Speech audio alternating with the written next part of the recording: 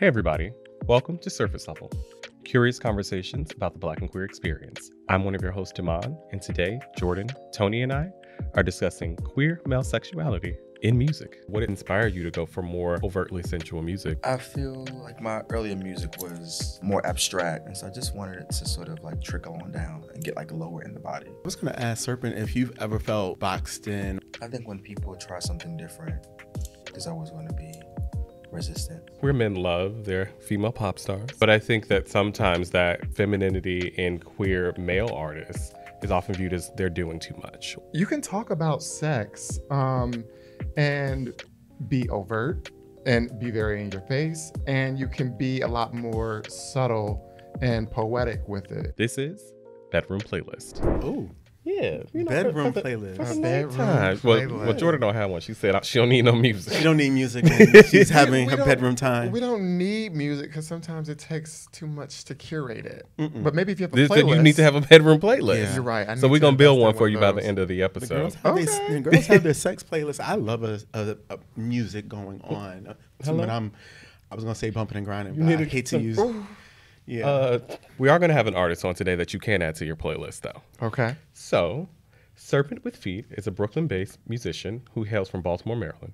His influences combine both classical and gospel music, with collaborators like Brockhampton, Ty Dolla Sign, Ellie Goulding, Twigs, and Sampha. He's what I'd like to describe an artist-artist.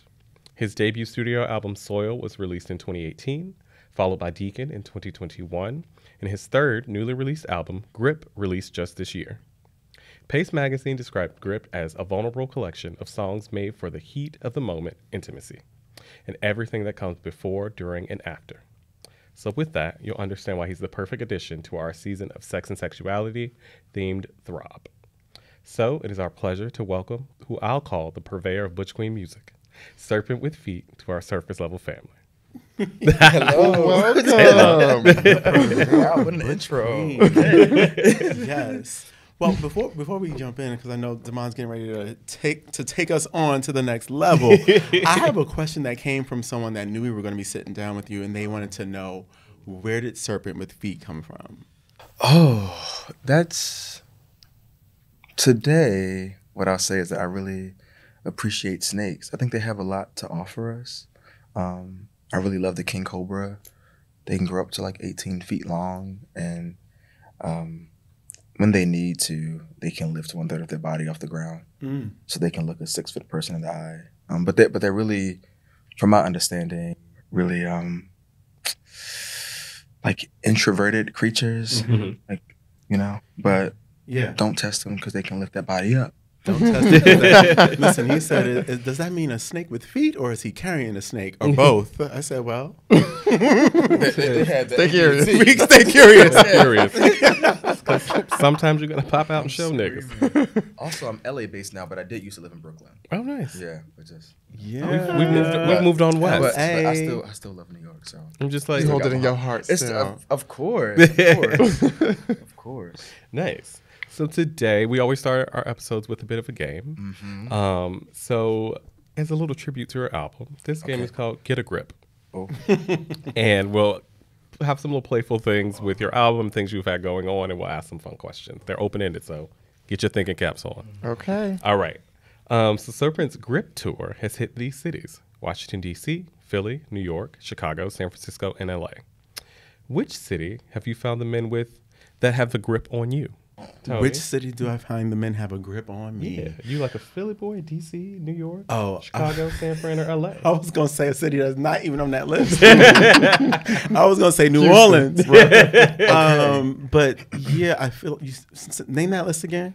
Watch DC, Philly, New York, Chicago, San Francisco, and LA. Chicago has some nice men. DC, they they done up their the ante in DC Yes. because the bodies. Every time I go, I'm like, okay, so DC's competing with LA in terms of they also just sitting around, going to work, and then going to the They gym. are taking those khakis off and lifting weights Yeah. taking every the day. off is wild Um, I have to agree. I mean, for me, it's New York or DC. Mhm. okay, Yeah. Serpent.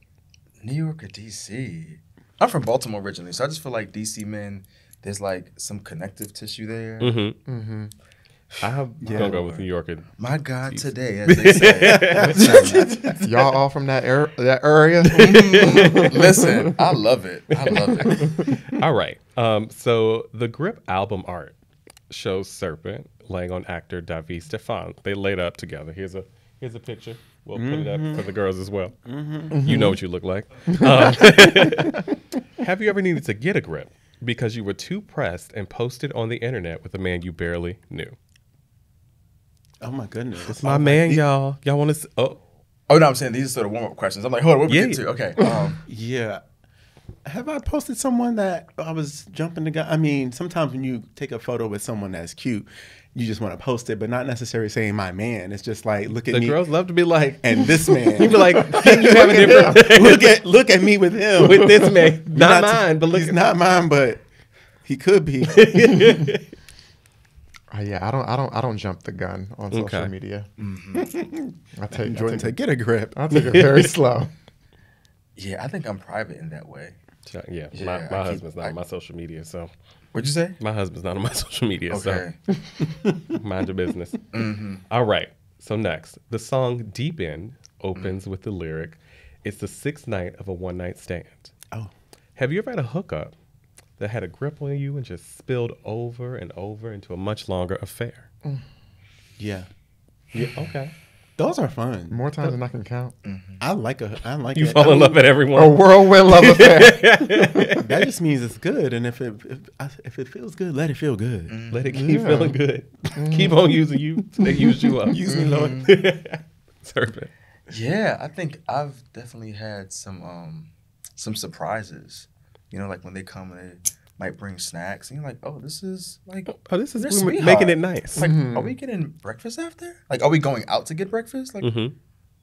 it's a it's a nice curveball. We always love a pleasant surprise. I also like for my sex to be less transactional Yeah. Yeah, at this yeah, point in my life. We want the we want the sweetness. We want an We're experience. too old for that. That's nice. Made it nice. Make it nice for me, for me Ma. Um, and then last question. One of his things is titled Safe Word. So what safe word would you use if someone placed too much grip around your neck? Place too much. Grip. You're in around your bed. neck. Oh, There's a there's a my light press on the neck. It's gone too far. You all have a safe word. What would your safe word be? Less. Um, I picked mercy. Mercy. I looked up a list earlier and I was like, oh, that's a good word. Um, Tony said, Get the fuck off of me. Quit it. Safe words are so interesting to me because I'm just like, what am I supposed to say? Banana, something random. well, you, you you decide on a word together. That's how safe words work. Yeah, they know. it's like, okay, I don't. Yeah, stop. That's safe to me. Sorry. It would probably be fruit for me too. Probably like tangerine. You know. See, that Just- sounded better than what you just said banana. Well, banana's fitting. I think so too. Eggplant. Eggplant. Okay. And serpent, the one question we ask all of our guests, Mm-hmm. just for you, what are you curious about? Anything big, small, light, heavy. I would say everything. I'm curious about my environment, the world around me, the people I meet. I think I always have a lot of questions about everything. Okay. I spend a lot of time on Google. What's the last thing you googled? Ooh. Um today I was doing some Googling. It's random about this um composer Will Marion Cook. So I just had I studied a bit about him in college and I was like, oh, I just wanna I was just curious about his life again. So yeah. Curious Google. girl. Well, stay curious. Exactly. Um, so moving into our conversation, um, as I alluded to earlier, our entire season it's called Throb. It's about sex and sexuality. So we've es- explored whole gambit of topics, and I think today we're going to focus a bit on music, art, and how sexuality can show up, and it's discussed typically around um, queer men, particularly Black queer men. So we'll start here. Uh, Pitchfork, when reviewing your album, said that his songwriting is punchier and more direct in its pure in this purest mode. There are more come-ons and solicitations than innu- in, innuendo and symbolism, a shift that fits the intimate theme. So we want to start here. What inspired you to go for more kind of an overtly sensual music on the new album Grip? Yeah, I um I feel like my earlier music was maybe some would say was more more abstract, more lofty, and more cerebral. And so I just wanted it to sort of like trickle on down and get like lower in the body. Like we started here with matters of the mind and the heart and the spirit, which is great. And I think that will always be there. But then I'm like, it's time to get like you Physical. know, yeah, it's time to get physical. yeah, it's, time, it's time to it's time to go down now. Yeah. so it's interesting too. I think that as you anyone evolves in their art forms, they become more comfortable with certain things. I was looking at our first season of this show. Mm-hmm. There's not a single overtly sexual topic in the whole first season.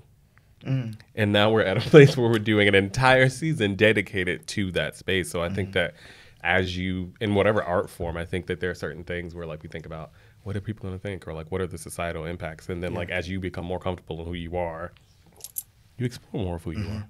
Was that indicative of your sexual journey expression of yourself? Were you at one time less, uh, I guess, risque, willing to overtly say things and cover topics in that way? And maybe now, through your journey and through your experiences, feel like you're more comfortable doing that? Well, I, I would say, well, the album isn't autobiographical, but obviously it's informed by my experience, others people's experiences, things I've witnessed on TV or film. It's sort of like a, a, a mosaic in that way. Um, but I think I've always been interested in the flesh and in the Mhm. body. Mhm. Um, but I think I, I just have a lot to say, and there's no way to do it all at once.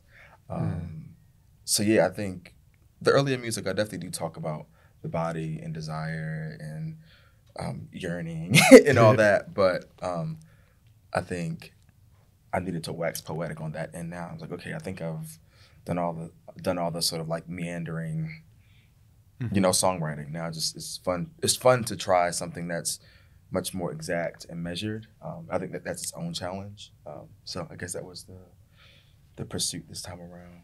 Yeah.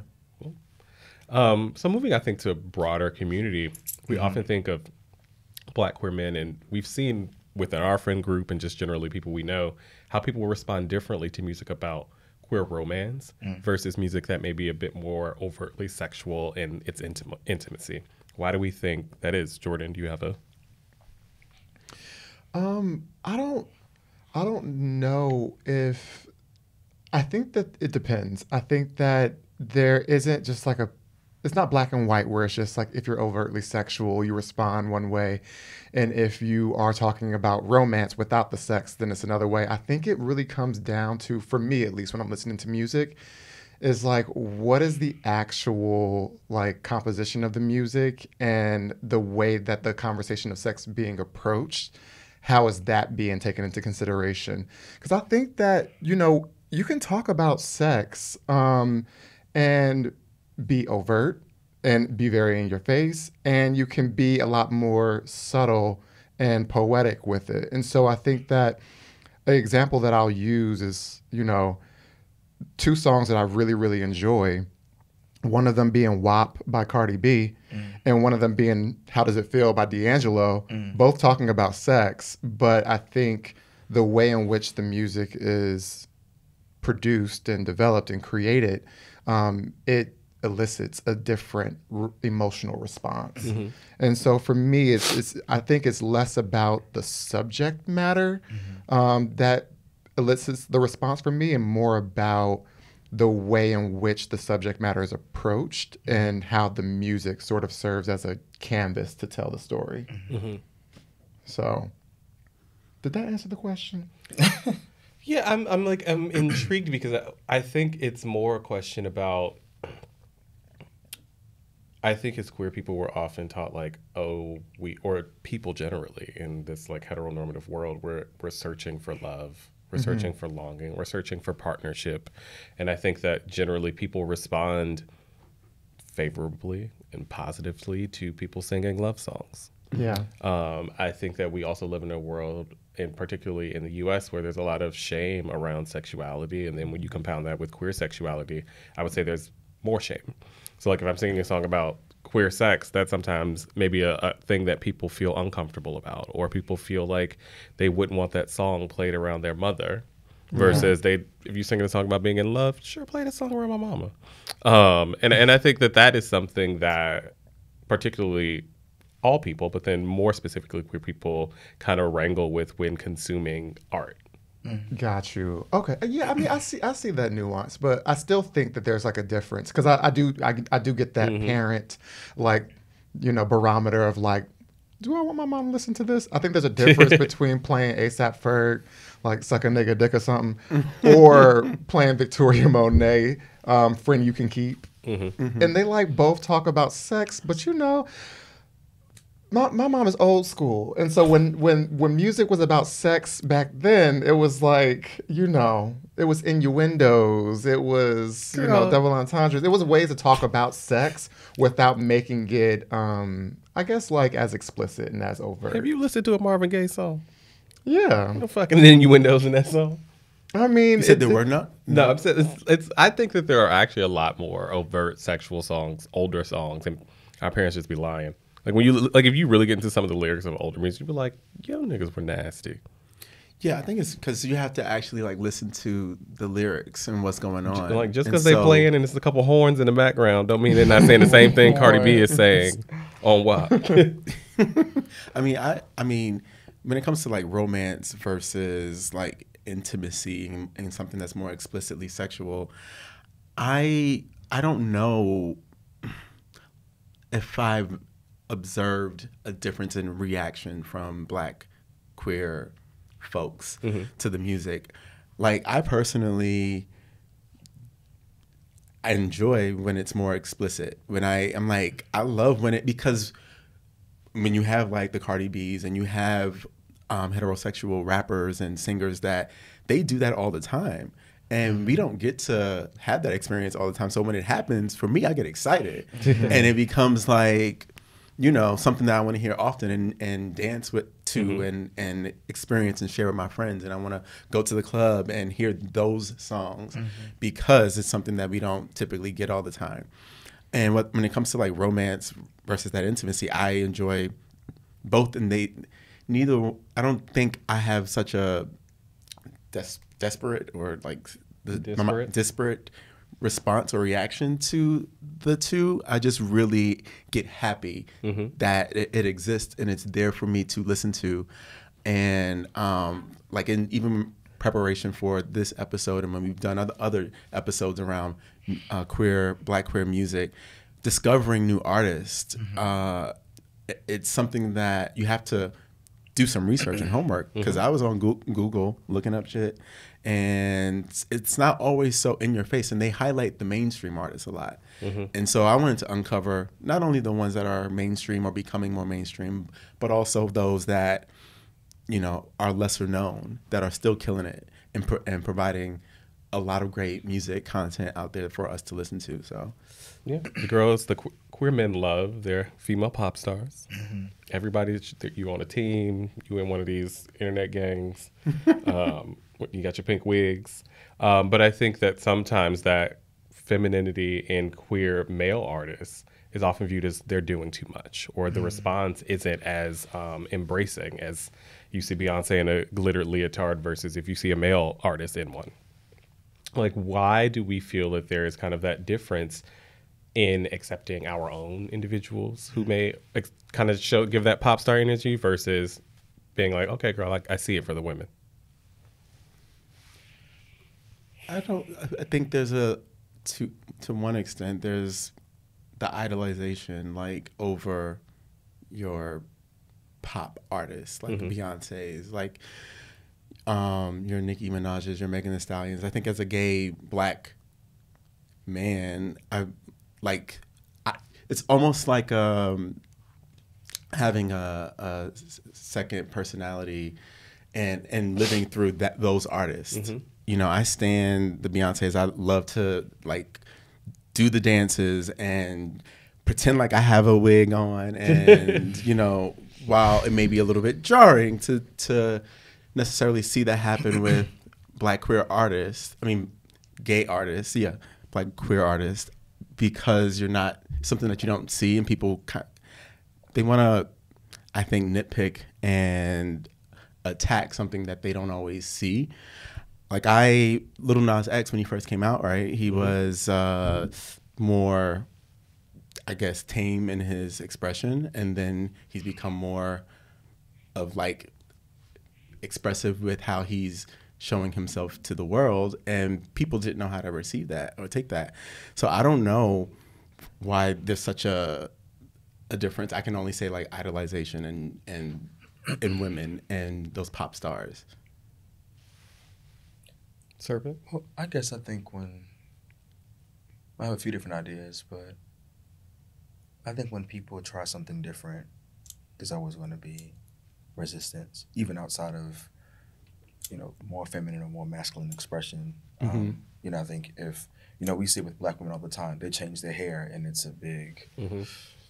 you know, there's a lot of commentary around that. So I think with men, we don't we don't give cis men space in general to do anything. If you don't want to wear navy blue and khakis, good luck.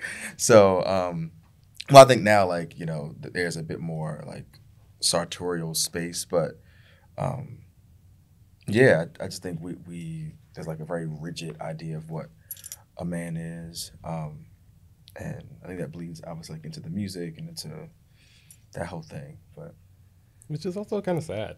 Like if you think about like art should be this like really freeing space and like a space for you to um I don't know, explore the truest parts of yourself. I feel like we've been so conditioned to believe that like as men you have to present this type of way in all areas of life. Work, as an artist, as a Yeah. person, just walking down the street. And then I don't know, it always comes back to respectability for me. yeah. Like mm-hmm. there are so few. And then if we're, if we're just talking about like main stages, I, like I'm a big component, like I think to Tony's point too, around supporting independent and small artists and so on.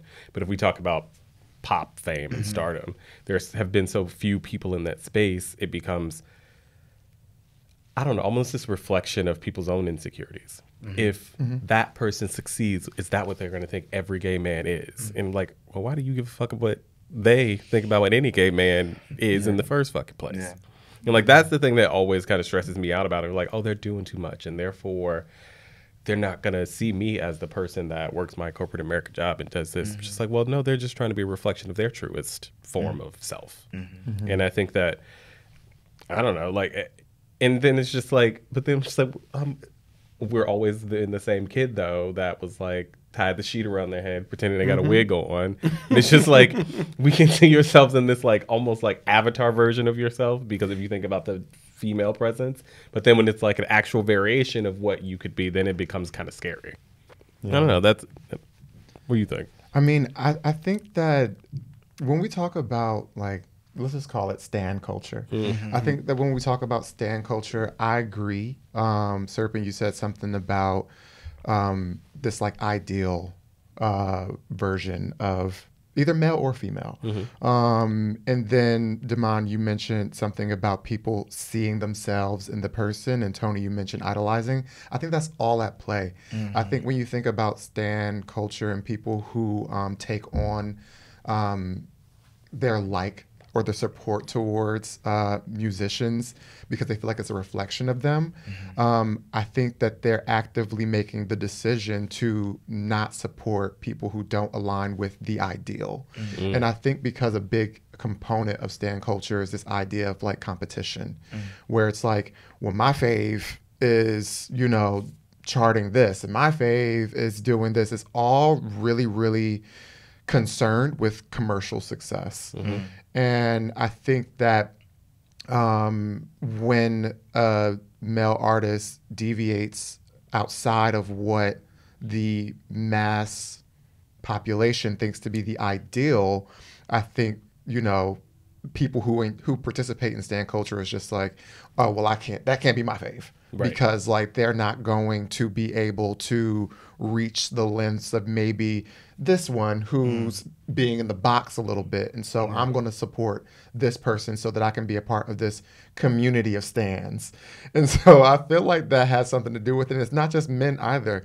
Um, it, it works with women too, and I think that that's why a lot of um, the female artists that have grown really massive loyal followings, they also too sort of have somewhat of a homogenous presentation to the mm. world where it's you know a mm. certain type of body type it's a certain type of aesthetic and style.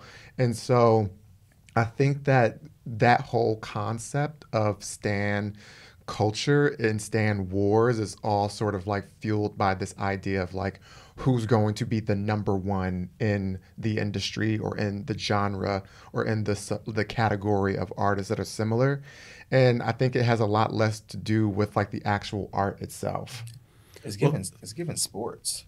it is Yeah. it is given Not your favorite sports. team. yeah that's what it's given it's like who what camp are you in it's like Yeah. yeah Yeah, I was going to ask Serpent if you've ever felt boxed in or people t- saying that you're doing too much with how you've expressed yourself. Because you don't always show up the same way in every room that you step in or every stage that you take. Yeah. And so have you have you gotten that criticism? Maybe, but I think, I think when you hear so much growing up, all of it's just like, it's just white noise. If there is any noise, Mhm. it's I don't really know if I feel it. Um, I think with with my intimate social circle and people that I really care about, that's not that's not the conversation. Mhm. And so I think with everything else, I mean, yeah, like I know the world is they have their views, I guess, but like I, I just um, I don't know if I've removed myself from it. But again, like I've I've I've been called so many things since I was a kid. At some point, like when am I gonna live my life? Because I can't live your life. Yeah. Um, and even if I lived your life, you would have issues with that too. You know. Um, so yeah, I think it just doesn't. It doesn't. Get So you curved. don't have that like um, that lens, I guess, on, or that pressure that you put on yourself from what society deems you should show up as, or what's appropriate, or what's doing too much. Because I know that a lot of it's hard being an artist, and Mm-hmm. there's that that voice in the back of your head is like, are they going to accept me? And it sounds like you have managed to be in a place where you've you you've blocked that white noise out, and Yeah. you are only paying attention to your true artistry and yourself, and then also your immediate circle, um, and keeping that in mind. Yeah. which is probably good advice for those who struggle. Yeah, because I, I don't think playing it safe works for anybody. I don't think it works for straight men either. Um, and maybe that's a hot take, and maybe I'm like that's a blanket statement, but um, I think cis straight men, um, anyone really who chooses uh, to ignore their imagination and intuition, I think they struggle too. I think whether it may not be a sartorial thing, it may be coming up with new songs. Like I think the way you dress, the way you write, what you eat, I think they're all strung together. And I think if you struggle in one space, another space is going to be affected by it. So I think you know you see artists that are like, I'm not inspired. It's like, well, there's inspiration everywhere, but maybe Yeah.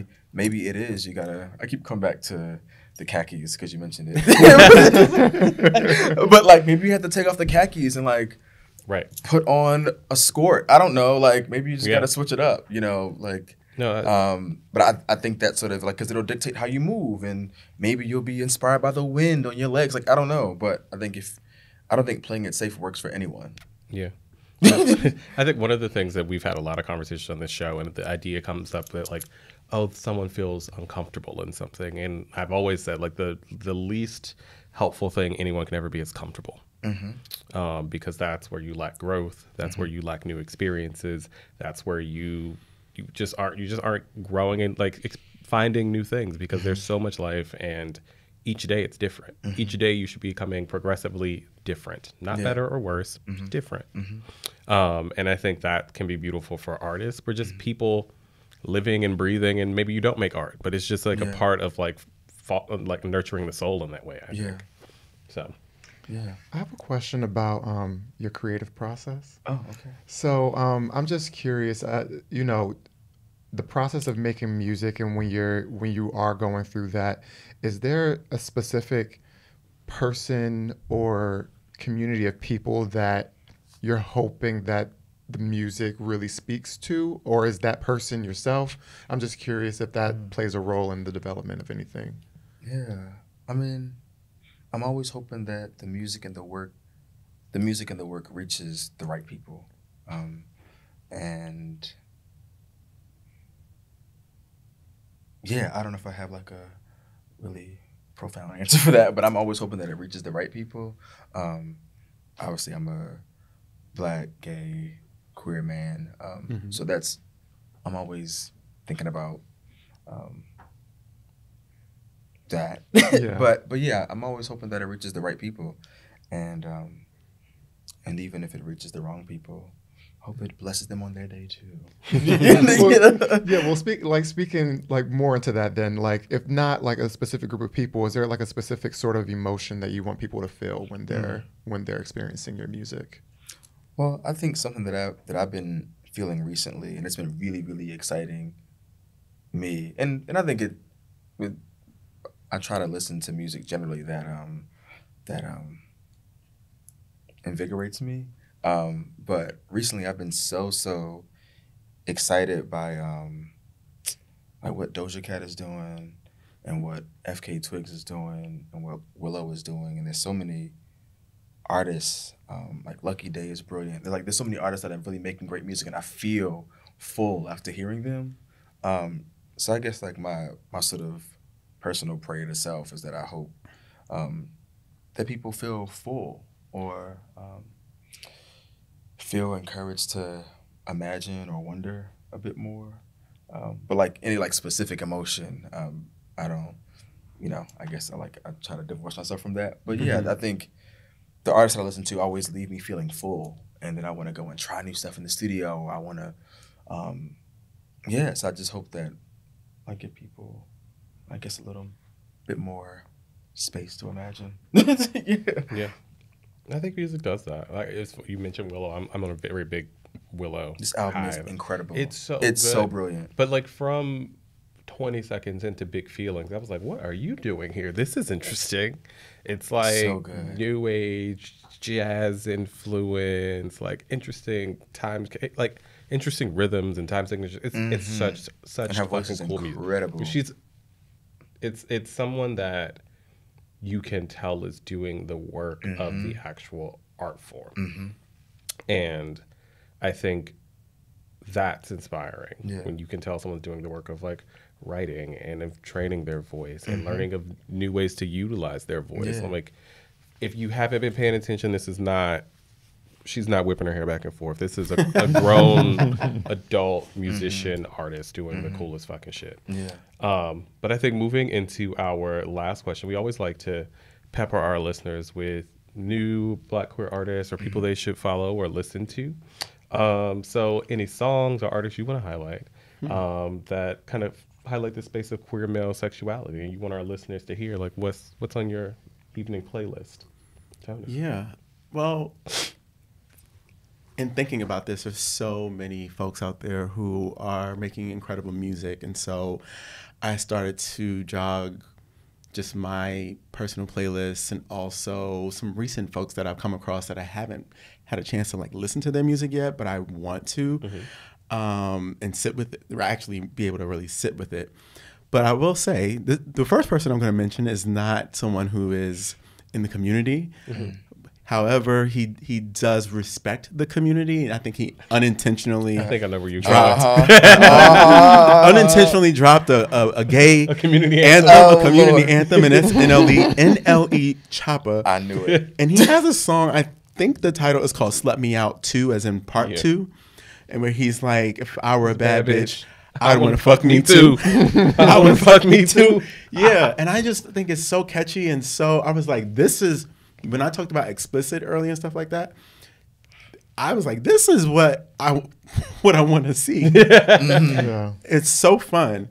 Uh, however, going into like some of the more actual black queer artists, there's a list of folks, and then I'll land on the person whose song that I want folks to go and actually like take a, a listen to. But I had Cakes da Killa, Durand Bernarr, Lil Nas X, Saucy Santana, Frank Ocean, Arlo Parks, Kidd Kenn, Chica, I believe that's how you pronounce her name, uh, Destin Conrad, who I recently got into, um, Warren, who I love, Seven Deep, who gives it to you Love raw, and the the person who song I had an exercise at work um, where they asked like, "What's your what's the last song you listened to?" If you were to open up your um, your the app that you listen to music on, and it was for me a song by Austin Holmes called mm. Wonderland.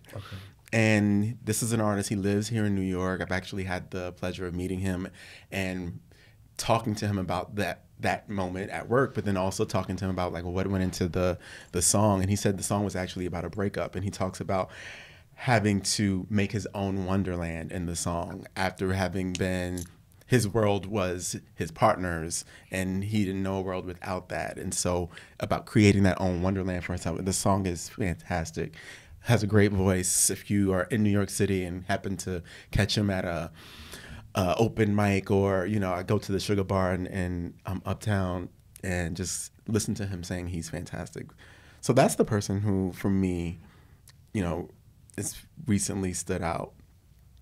What about you? Jordan? Um, so I would say I've been listening a lot to "Submissive" by um, Destin Conrad. One or two.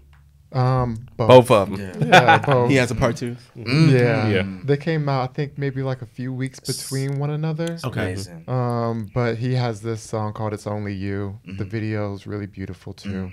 Um, and then I think another song that I just want to call out is uh, "Relocate" by uh, Durand Bernarr. Dick so good, make a bitch relocate. if we're talking about like sexually explicit, but I mean, I, I do sit, I do tend to like um, gravitate more towards R and B in general.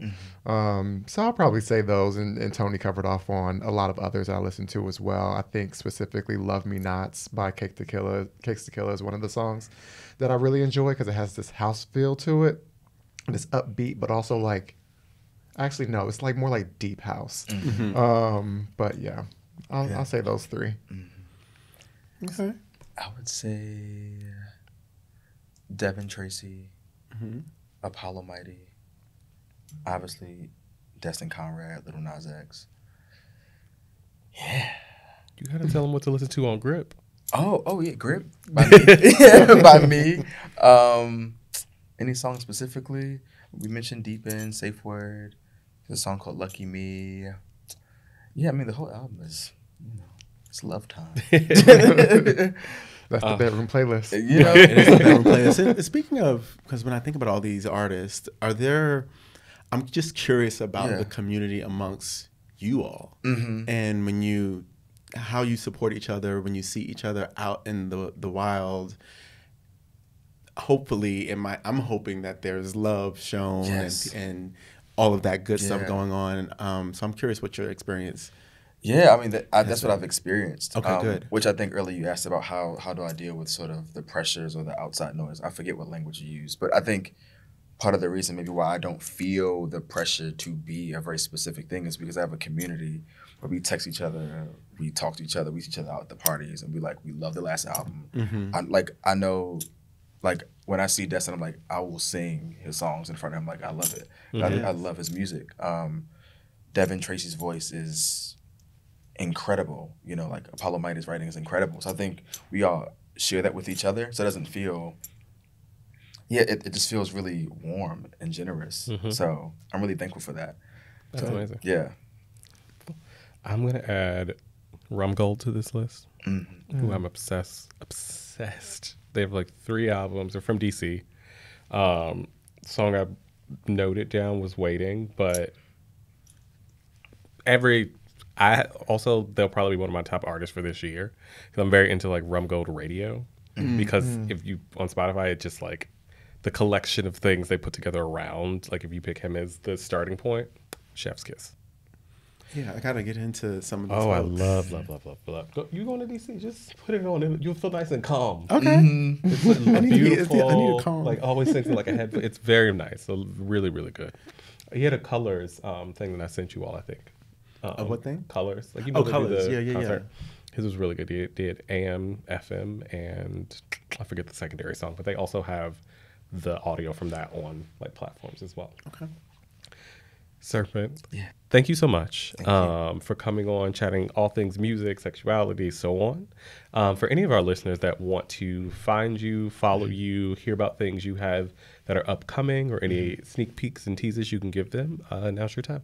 Yes, well, I am serpentwithfeet. You can follow me on social media, and I always post what I got going on there. And yeah, yeah, my album is out. It's called Grip. Yeah, check it out. Hope you enjoy it and love it, and add it to your bedroom playlist, into your car playlist, into your everything playlist. and with that, that is all the time we have this week. If you enjoyed this episode, let's keep the conversation going. Let us know your thoughts and questions at surfacelevelpodcast.com. And remember, stay curious.